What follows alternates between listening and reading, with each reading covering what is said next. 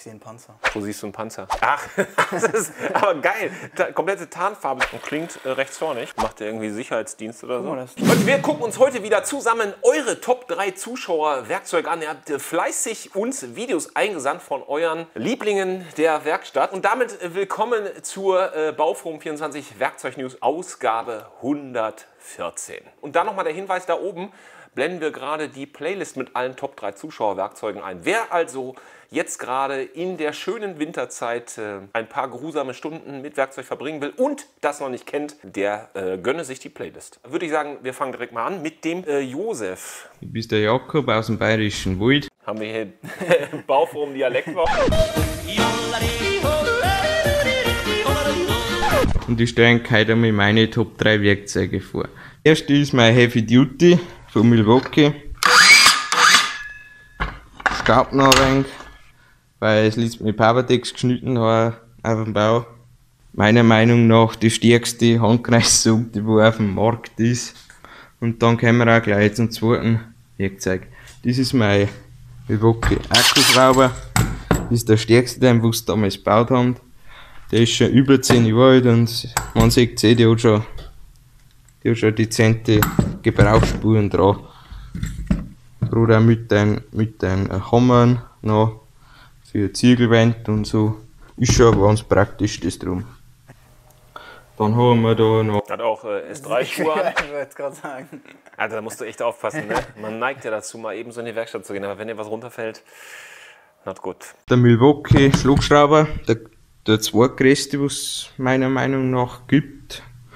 Und ja, den nehmen wir aber her für Treppenstufen zum Zusammenschrauben. Äh, Treppenstufen mit so einem Bit und dann so ein großes Schlachtschiff.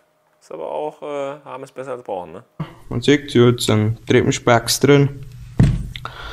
Natürlich habe ich auch ein Moped. Das ist mein SkyTeam SkyMax Pro mit 12 Zollrädel, großen Kennzeichen und 125 Kubik Motor. Dann habe ich da auch noch mein Ein Fendt. Ja. Diese Fendt mit der Pritsche vorne, Finde ich voll die, geil. ja, die haben sich aber nicht so durchgesetzt. Aber waren mal eine Zeit lang relativ populär, aber Kann man den jetzt auch noch anheben? Bestimmt, ne? ja, klar. Ja, ja, kannst du anheben. Zur Seite und nach vorne? Nur zur Seite eigentlich, ne? Ich glaube nur nach vorne, aber da bin ich überfragt. Aber das war ja wirklich auch so gedacht, dass man sagt, okay, du kannst aber trotzdem das Ding wirklich noch auf dem Acker nutzen zum Pflügen. Ja, quasi ein Pickup, ne? Nur umgedreht. Fendt Geräteträger Genau. GT22. Das ist meine Werkstatt. Und ja, zudem brauche ich die, die Sachen, weil ich bin ja Schreiner, ich bin im Schreinergewerbe tätig und da braucht man halt einen Haufen Akkuschrauber. Äh, ja, was man hier gesehen hat, fand ich eindrucksvoll, dass er die Milwaukee-Sachen hatte, schon seit über zehn Jahren und auch nach über zehn Jahren immer noch dasselbe Akkusystem am Start, weil er kann ja immer noch mit den M18-Akkus da arbeiten und da, glaube ich, gibt es viele, die so ein bisschen skeptisch sind. Naja, wenn ich jetzt in ein Akkusystem einsteige, was ist dann in zehn Jahren? Es gibt hier und da Änderungen. Ne? Sieht man zum Beispiel jetzt bei Makita, die mit einem 40-Volt-System äh, kommen. Zusätzlich. Und weiter geht's mit Jürgen. Hallo, liebes Bauforum 24 Team. Ich bin der Jürgen aus Nürnberg und ich zeige euch heute mal meine Top 3 Werkzeuge. Nicht erschrecken, hier ist es unaufgeräumt und auch ziemlich klein. Ich habe hier nur so 2,50 Meter mal 2 Meter Werkstatt. Da muss ich mich ein bisschen Stanley äh, Tisch. Ja. Hat er bestimmt gekauft, nachdem er den bei uns gesehen hat, oder? bisschen beschränken. Also hier liegen sie auch schon, die Top 3 Werkzeuge. Einmal der Fein Multimaster, Ja. ein super Gerät mit diversen Klingen. Da habe ich schon von Trockenbau über Brennholzunterstand alles mögliche gesägt, abgelenkt und abgezogen. Und Top 2, mein Makita 18 Volt DDF 456 RYJ. Sehr feines Gerät, vor allem mit der Zweigangschaltung. Was ich daran sehr schätze, ist, wenn man wirklich so ein bisschen nur drückt, kann man sehr präzise dosieren. Das ist jetzt im zweiten Gang, aber auch sehr schnell schrauben und bohren. Da habe ich jetzt einen 1,5 Ampere-Stunden Akku. Das ist ganz gut, weil der nicht so schwer ist. Dann nochmal einen 1,5er. Und der dritte ist gerade noch in der Heckenschere. Und Nummer drei, da kann ich mich nicht ganz entscheiden, ist entweder das Mora-Messer von einem großen Baumarkt.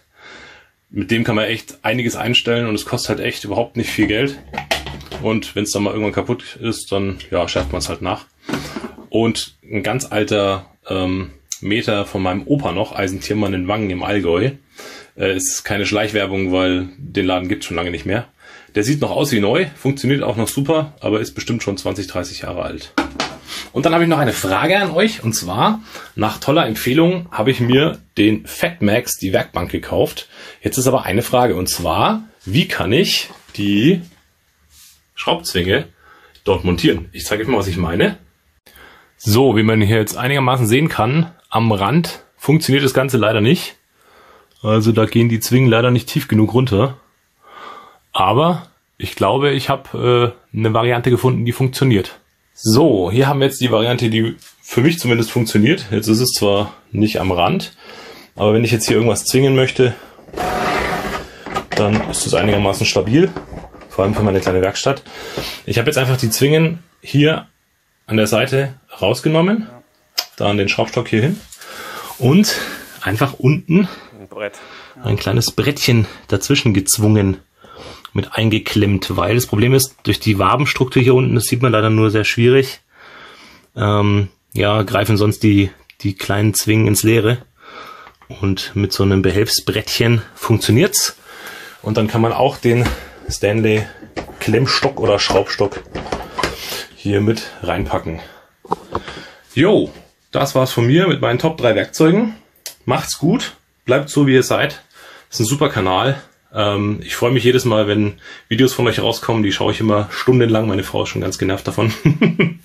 Liebe Grüße aus Nürnberg. Macht's gut. Ciao, ciao. Ja, Jürgen, die äh, Frage hast du dir ja im Prinzip schon selbst beantwortet äh, mit dem Stanley-Tisch. Ich hätte es, glaube ich, auch so gemacht. Ich hatte mir die Frage bisher noch gar nicht gestellt, denn ich glaube, dieser kleine äh, Zwingenbock, Klemmbock, äh, ist eigentlich auch gar nicht für diesen Tisch gedacht. Ne? Sondern das Nee, ist aber es wirklich ja, universell, schnell dabei und günstig. Ne? Aber auch schade, dass sie das halt nicht berücksichtigt haben, weil es ist ja schon ein gutes System und auch eine gute Kombination, also Tisch und diesen- kleinen Schraubstock. Und äh, das Problem ist halt, halt dass dieser Stanley-Tisch halt echt so hoch, hoch ist an den Kanten und natürlich auch die, diese ganze Unterkonstruktion, also die ganze Konstruktion dieser, dieser Tischplatte ist natürlich halt auf Leichtbau gemacht, aber halt auch äh, Leichtbau und dann natürlich Stabilität, was sie auch durchaus bewiesen haben, dass der äh, Tisch sehr, sehr stabil ist. Ähm, und ähm, ja, es hat natürlich noch diese Möglichkeit, dass man das Tischkreuz nutzen kann, aber da muss er dann halt sich auch wieder behelfen, weil ähm, das Problem ist, ist jetzt, jetzt war, dieser Schnitt, aber es ist relativ viel Arbeit, weil du hast diese, diese Schiene bei, bei, diesem- bei diesem Klemmbock und die, dann hast du Endkappen. Diese Endkappen musst du erstmal ab- abmachen, also aufschrauben, dann musst du halt diese, diese, diese, ähm, diese Klemmen da rausschieben. Das hat sehr, sehr viel gefummelt. Ne? Und ähm, er hat es jetzt da einmal gemacht. Ich hatte äh, kurz überlegt, ob man nicht zum Beispiel mit dem äh, Multimaster Mhm. hingeht und an der Seite mal so eine kleine Kerbe, Kerbe, reinschneidet. Ja. Dass die Zwingen drüber passen würden. Stimmt, das weil es clever. verjüngt sich ja wieder. genau. Du müsstest ja nur an der Seite einmal, diese, vielleicht fehlen da 5 oder 10 Millimeter. Die Frage ist, ob das die Stabilität des ganzen Tisches beeinträchtigen würde. Ja, Aber ich sag mal, Stabilität war nicht das Thema, das haben wir euch gezeigt. ja, Ne? pfiffige Idee, einfach so ausklinken reinzumachen. Dann musst du dann noch gucken, ob da unten vielleicht irgendwie noch so ein Brettchen da Ja, mu- reinmachen. das musst du sowieso machen. Aber das Aber ja- ich, das das, ja Brettchen noch- würde ich mir vielleicht sogar fix dann Ja, drunter kleben oder fixieren. Genau, ja. Ne? Weil, weil das, was er jetzt so gemacht hat, das ist echt viel Fummel. Ja. Aber ich glaube, da, das tönt ihn irgendwann auch ab, das halt immer so zu machen. Ja. Aber das ist eine gute Idee, das mit den Ausklinken. Vielleicht macht er es ja. Ich freue mich immer, wenn äh, wir euch Sachen zeigen und euch inspirieren und wir dann in euren Videos sehen, dass das in den Weg in die Werkstatt gefunden hat. Feedback. Ne? Feedback halt. So, und dann haben wir noch den äh, User Triple X. Warum Triple X? Weil, weil, keiner den Namen kennt. Vielleicht kriegen wir den ja raus jetzt. Vielleicht kriegen wir ihn hier raus. Aber Triple X ist schon mal ein cooler Spitzname. Triple X. Hallo Bauforum 24 Team. Ich sehe einen Panzer. Wo siehst du einen Panzer? Auf dem Schreibtisch. Hä, wo? Links, auf dem Schreibtisch. Ach, das ist aber geil. Ta komplette Tarnfarbe, so grün mit, mit Holzfarben. Da ist auch noch grün. Da ist auch grün. Ach, guck mal, sogar, sogar die Drehme Dekopiersäge hatte da. Jo. Boah, das haben wir auch noch nicht gesehen. Nee. Also Drehme schon öfters, aber die Gut, aber Modellbau. Offensichtlich Modellbau. Ja. Hier guckt ja auch die Balsaholz oder was weiß ich. Und guck mal, er hat aber auch alles, ne? Er hat Waschbenzin, Terpentin, Ersatz und Pinselreiniger. Dann hat er hier so ein kleines Labornetzteil, könnte das sein. Alles schön aufgeräumt, ne? Ja. Sowas mag ich ja auch so, ne? So ein bisschen so fummeln und so und That's what she said. Wie ihr seht, bin ich im Modellbau unterwegs, aber nicht nur damit, sondern auch mit ein wenig Holzbau. Mein ehemaliges Lieblingsgerät war dieser Akkuschrauber von Makita. der jetzt nach 22 Jahren leider äh, das Seitliche gesegnet hat.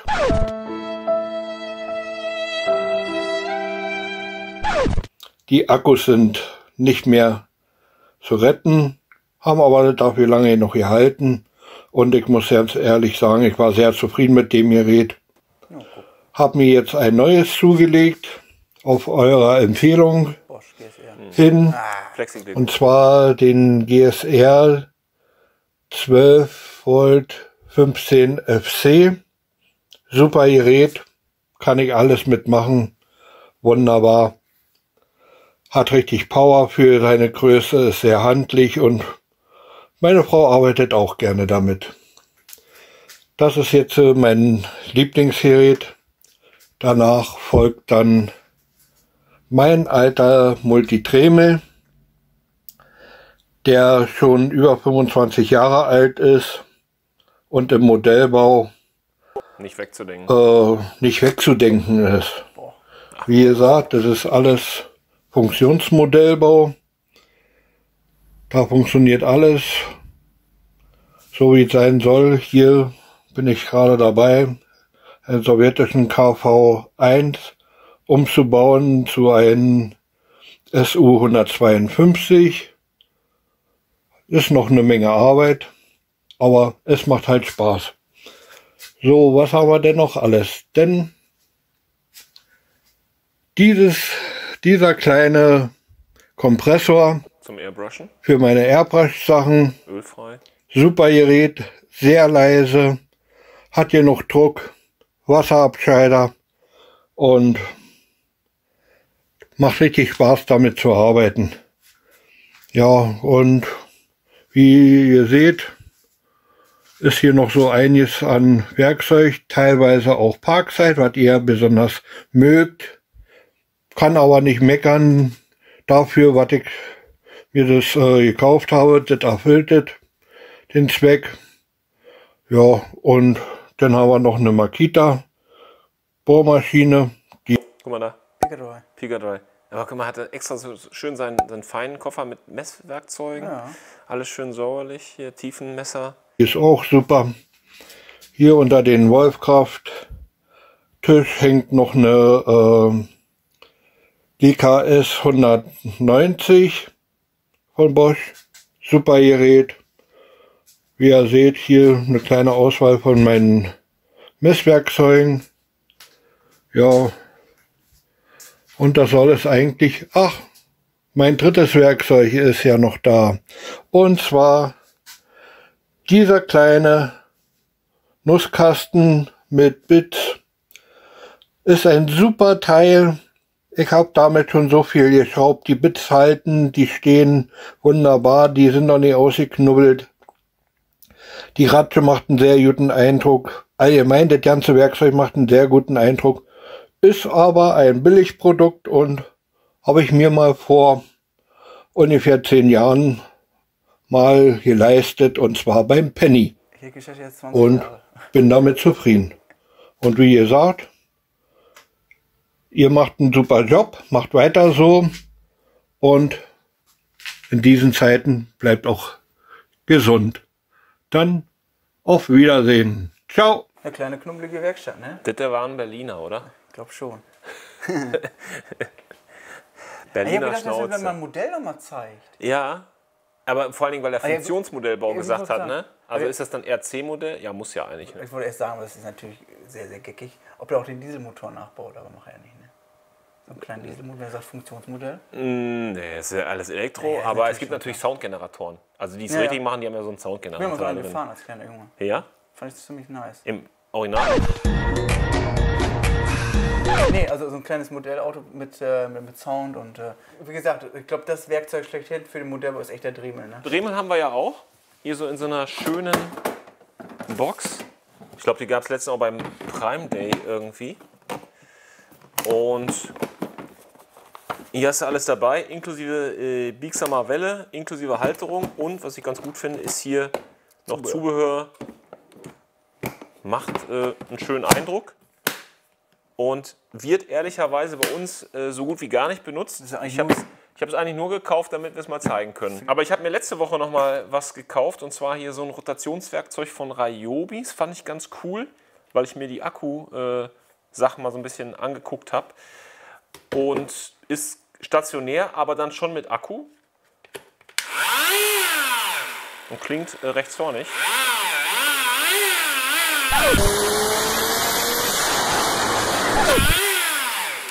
Ein klassisches Dentallabor. Genau. Das hat man auch, glaube ich, schon auf Insta gezeigt, dass du da. Nee, Uwe war das, ne? Uwe macht so oft Dental-Zahntechnik gerade.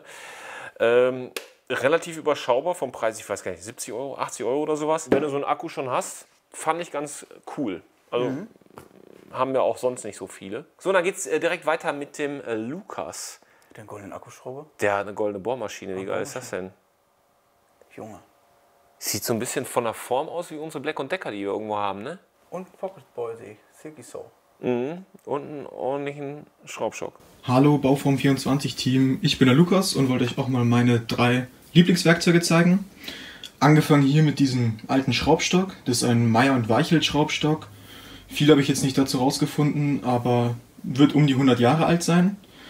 Und nahezu alles, was ich mache in der Werkstatt, ähm, hängt mit dem hier zusammen. Als nächstes das sind quasi zwei Werkzeuge, nämlich zwei Sägen. Einmal die Pucksäge, weil ich hobbymäßig gern mit äh, Stahl arbeite. Da mache ich so kleine Schlüsselanhänger draus. Und da ist die Säge wirklich top. Kommt man gut in die kleinen Ecken rein, kann alles schön aussägen. Wie macht der Alter? Mit der kleinen Pucksäge? Äh, Womit macht er denn die Feinbearbeitung? Mit der Pfeile, denke ich. Krass. Als zweites die ähm, Silky Pocket Boy, das ist die 170 mit grobem Sägeblatt. Super Säge, wenn man mal kurz was in Holz trennen möchte, macht trotzdem einen sauberen Schnitt. Also super Teil. Als drittes habe ich hier dieses kleine alte Beil. Ähm, habe ich von Bekannten aus Ungarn geschenkt bekommen. Ich kann jetzt nicht viel darüber sagen. Kopf wiegt ungefähr 750 Gramm. Ähm, ist ziemlich scharf und ich arbeite zwar relativ wenig damit, aber wenn, macht es immer viel Spaß. Das Beil steht jetzt relativ ja, stellvertretend für alle anderen Beile und Äxte, die ich habe. Kann ich mal kurz zeigen. Das sind jetzt nur ein paar. Macht er irgendwie Sicherheitsdienst oder Guck mal, so? das, das ist so ein Zimmermannsball ganz links. Ja. Dann hat er in der Mitte die Doppelaxt. Da links daneben ist, glaube ich, eine Felleraxt. Also zum eine klassische Waldarbeiteraxt. Rechts daneben die kleine ist eine Zimmermannsaxt. Sie ist an diesem Loch oben in, in, in der ja. Schneide. Wozu hat das das Loch? Für die Nägel zum Rausziehen. Ah, okay. ziehen. Oben rechts ist, glaube ich, auch eine Zimmermannsaxt, sogar mit Klaue hinten. Du hast ja hinten, hinten ist ja immer die, die, die, Ja, ja. Der Nacken ähm, der Axt und da ist sogar noch eine Klaue drin. Vielleicht auch eine Zimmermannsaxt oder eine Tischleraxt. Und auf jeden Fall auch ein paar mit einem geraden Stiel. Wo warst du eine Doppelaxt? Ich glaube, das ist mehr so, also es ist kein Werkzeug im Sinne von, wie, wie zum Beispiel eine Zimmermannsaxt oder eine Tischleraxt. Es ist, glaube ich, einfach eher mehr so ein, ja, ja Sportgerät möchte ich nicht sagen, aber ich glaube, damit kannst du halt, ähm, ja, so Axtwurf machst du teilweise auch, auch machen mit, mit, mit einer Doppelaxt. Ja! Die ganz linke sind, es ist, es ist ja auch interessant, weil es ist hundertprozentig eine Zimmermannsaxt. Du hast erstmal die Schneide, ist relativ breit und eine Seite ist sie komplett plan. Und damit haben die dann früher aus, äh, aus, aus Rundhölzern, also aus, aus Baumstämmen, haben die da die Balken rausgeschlagen. Und die ist komplett plan, so dass du halt immer, deswegen ist sie halt auch so breit, dass du halt immer, wenn du einmal angefangen hast, hast, wenn das zum Beispiel jetzt unsere Kante ist, dann führen die jetzt halt immer wieder so da dran. Und so ar- arbeiten sich dann halt ähm, den Stamm ab. Wahnsinn, ne? Das ist interessant. Also die ist komplett plan, das ist echt cool so, Äxte. Und das ist zum Beispiel auch hier bei, bei, der, bei der Zimmermannsaxt, hast du ja auch noch ähm, den Bart, nennt sich das glaube ich hier. Das, also ist, äh, bei der Zimmermannsaxt rechts, ist ja die, die Schneide relativ tief gesetzt und du hast einen, noch einen Zwischenraum zwischen Stiel und Schneide, sodass du halt wirklich die Axt perfekt zugreifen kannst. So. Und dann ist ist auch der Handrücken ist ja immer noch geschützt, sodass du dann halt auch wirklich feinere äh, ähm, Hackarbeiten auch noch machen kannst. bisschen, wie zum Beispiel die beiden hier. Und die Doppelaxt ähm, hat ein Bekannter geschweißt und ich habe den Rest gemacht. Natürlich habe ich auch ähm, diverse Elektrowerkzeuge, unter anderem diese alte Black Decker Bohrmaschine. Ist eine Black Decker geil. Aber warum hat die dieses Gehäuse? Ist das nachlackiert? Das ist eine D720 mit zwei Gängen ohne Sanftanlauf, also nur zwei ähm, feststehende Drehzahlen. Funktioniert leider nicht, habe ich restauriert, aber bin noch nicht ganz dahinter, was das Problem ist. beziehungsweise konnte es noch nicht reparieren. Ja, wie gesagt, ich hätte auch Elektrowerkzeuge nennen können, aber am häufigsten sind wirklich diese Handwerkzeuge hier mit dem Schraubstock im Einsatz. Ähm, ich wünsche euch noch einen schönen Tag, macht weiter so und bis bald. Ciao. So, und äh, weiter geht's äh, mit Pascal. Moin moin Leute und Servus von meiner Baustelle. Ein Familienhaus. Hab gerade hier meine Fassade beendet mit sibirischer Lärche. Bin kein Dewald Fanboy, aber es gibt einen Händler direkt um die Ecke und da habe ich gedacht, ja warum nicht. Dann kommen wir gerade zu unseren Top 3. Allgemein Dewald super, bin ich total von begeistert. Dann habe ich hier noch eine Greenworks 80 Volt Akkusäge, auch der absolute Hammer. Äh, besonders hervorheben möchte ich einmal den Bohrhammer als Top-Werkzeug, den Dewald, wie heißt die Knifte? DCH 133. Die geht durch alles durch. Und zum zweiten, da kommen wir auch noch gerade gleichzeitig zum Top und zu einem Flop. Das ist der Dewald äh, DCD 996 ist der beste Schrauber aller Zeiten. Habe ungefähr 15.000 Schrauben damit gemacht, auch 180er Kavenzmänner für Konstruktionsholz. Aber gleichzeitig das größte Minus von dem Ding. Es ist einfach unfassbar laut. Gehörschutz. Gehörschutz, siehst du? Aber er hat den Wolfkraft äh, Bohrsenker drin, ne? Wollte ich gerade sagen, ja. Auch ein schönes Werkzeug. Man kann es gar nicht erklären, warum das so laut ist. Keine Ahnung. Wäre ich taub, wäre das das beste Werkzeug der Welt. Der gute Sprüche drauf. Ich habe ja mal was äh, gedreht im Bereich Elektroantriebe für Baumaschinen, so eine Serie. Und da hatten wir auch das Problem, dass wir einen Motor hatten und dann gab es einen, einen bürstenlosen Motor und dann gab es einen Regler. Denn äh, die Kommutierung des Motors ist ja bei einem bürstenlosen Motor eben auch elektronisch. Und ähm, da hatten wir auch ein Problem, dass auf einmal dieser ganze Antrieb unheimlich laut war, weil der in so eine, ja, ich weiß nicht, ob das eine Eigenresonanz war. Ja. Auf jeden Fall war da die Regelung des Motors nicht hundertprozentig gut mit dem Motor abgestimmt. Und dann hast du diese Frequenzen gehabt. Und das hörte sich so an wie der D-Volt-Schrauber, so ein bisschen. Und da dachte ich, okay, vielleicht ist da das Problem, dass die Regelung des äh, Motors da nicht richtig ist oder aufeinander abgestimmt. Ich meine, es funktioniert, aber du hast dann diese Frequenzen, die dann schon sehr laut und lästig sind. Weiter geht's mit äh, Leon. Servus, ich wollte euch heute mal meine Top 3 Werkzeuge und generellen Lieblingswerkzeuge aus meiner kleinen Bastelecke hier vorstellen. Und unter den Top 3 ist auf jeden Fall dieser Dremel Gaslötkolben. Ich habe einen Heißluftaufsatz drauf, benutze ihn eigentlich fast nur für Schrumpfschläuche, aber ist super praktisch, kann ich weiterempfehlen. Und Parkside Dremel kommt auch so häufig zum Einsatz, einfach um irgendwelche kleinen Sachen abzuschleifen, Plastikstückchen oder so von irgendwelchen PC-Teilen, was weiß ich. Benutze ich wie gesagt sehr oft, ist nicht, hat nicht viel Leistung das Ding, ist aber praktisch, günstig, der Akku hebt lange und für ein paar Euro gibt's halt einen Haufen Aufsätze dazu, also für den Preis echt top. Und was ich auch sehr gerne benutze, ist dieser wäre Ratschenschlüssel, weil man sich einfach mehrere Schraubenschlüssel spart. Und gerade so, um kleine Sachen PC zu schrauben oder Lüfterschrauben oder sowas, ist der sehr nützlich. Gefällt mir sehr gut, will ich nicht missen. Und halt Elektroschraubendreher von Wirt. So Kleinzeug, da ich viel an Elektroniksachen rumschraub.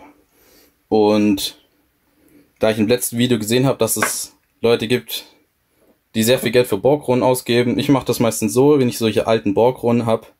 Die kann man super leicht mit einem Schleifaufsatz für den Dremel einfach nachschärfen und dann bekommt man nochmal Nutzen aus diesen alten, billigen Dingern, wenn man ein bisschen Geld sparen will. Und sonst oft benutze ich, die kommen oft zum Einsatz, Parkside, ähm, Bits und Bohrer, kann ich mich nicht beklagen für den normalen Haushaltsgebrauch. Absolut ausreichend. Und eigentlich eins meiner Top-Werkzeuge, obwohl ich es nicht oft benutze oder brauche. Die alte Leck und Decker Baumaschine aus Westdeutschland. Extrem viel Power. 35er Forstner Bohrer in Massiveiche. Stört die überhaupt nicht. Ja, eigentlich ein Werkzeug, was ich sehr gerne mag, aber kommt leider nicht oft zum Einsatz, da ich nicht den Nutzen dafür habe. Aber äh, Kabel, würde ich mal sagen, ist schon mal neu gekommen. Äh, schwarze Serie war dann schon die High-End-Variante von Black Decker. Die normalen waren damals blau. Hatte die denn auch das orange Kabel dann gehabt, original? Mm, Weil das die ja- blauen hatten auf jeden Fall das orange Kabel. Ich bin mir nicht sicher. Ich glaube, die hatten ein schwarzes Kabel. Ah, okay. Aber da müssten die Zuschauer Weil die mehr zu orangen sagen. Kabel waren ja auch schon die mit den besseren, ne? Die Nö, bessere Klasse, nö, oder? nö. Wüsste ich jetzt nicht. Das ist das mal so gesagt. Okay, dann habe ich das falsch abgespeichert. Ja. Also die hatten, meine ich, ich hatte damals die Prospekte davon. Mhm. Ich glaube, die hatten beworben mit 5 Meter Kabel. Ja, und es kommt jetzt der Moment, an dem will die Säge sägen. Und zwar bei euch. Denn ich habe mir überlegt, nach dem Motto, ihr kommentiert, Brockschmidt spendiert, hauen wir wieder einen raus. Und zwar, äh, öfter gesehen jetzt wieder, eine schöne Japansäge, eine Handsäge, sowas ähnliches wie die Pocket Boy. Wir haben aber euch mal eine Tajima Japan-Säge äh, spendiert. Und die gibt es jetzt nochmal. Und was müsst ihr machen? Ihr sollt wieder äh, kommentieren unter dem Hashtag Werkzeug, euer Lieblingswerkzeug hier oder was hat euch besonders beeindruckt, was ist euer Favorit. Einfach kommentieren unter dem Video und natürlich auch dran denken, wenn ihr selber ein paar Top 3 Werkzeuge habt, dann äh, macht ein Video, ladet es auf YouTube hoch, schickt uns den Link dazu. Alle Details unten, E-Mail-Adresse in der Videobeschreibung. Und wie immer, wir sehen uns dann jeden Mittwoch, jeden Sonntag um 18.30 Uhr. Tschüss, macht's gut und bis dann.